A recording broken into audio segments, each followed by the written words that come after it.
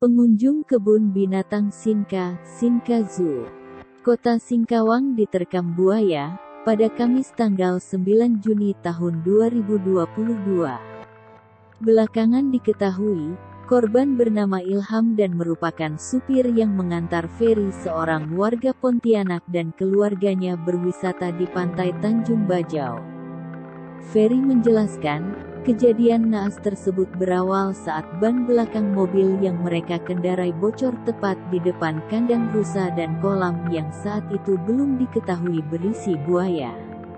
Usai mengganti ban, Ilham berinisiatif mencuci tangannya. Matanya kemudian mengarah ke kolam yang tampak kosong tersebut. Menurut penuturan Ferry, Dirinya sempat menyarankan Ilham untuk mencuci tangan di WC yang berada tidak terlalu jauh dari lokasi tersebut. Namun, saat itu Ilham mengatakan tidak dan tetap bergegas menuju kolam untuk mencuci tangan. Tapi waktu itu dia bilang tidak apa-apa cuci tangan di situ, ujar Ferry, Kamis tanggal 9 Juni tahun 2022.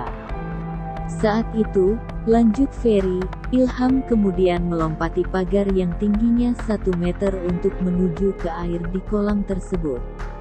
Saat berjongkok, Ferry menerangkan, Ilham seketika diterkam buaya dan ditarik masuk ke dalam kolam.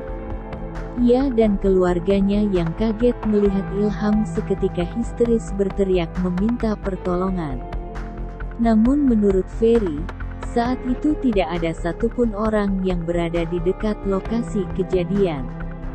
Sementara ia tidak dapat berbuat banyak lantaran takut untuk masuk ke area kolam buaya tersebut. Di depan matanya, Ferry melihat langsung Ilham bergumul dengan buaya di dalam kolam tersebut. Hingga beberapa menit kemudian Ferry berhasil lari keluar dari kolam dan berjalan menuju keluar pagar.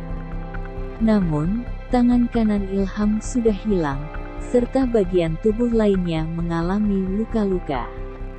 Menurut penuturan Ferry, saat itu Ilham dan dirinya sendiri tidak mengetahui kolam tersebut berisi buaya. Dirinya tidak melihat ada pelang buaya di depan kolam. Sedangkan kolam tersebut, ia katakan seperti kolam kosong yang tidak terpakai.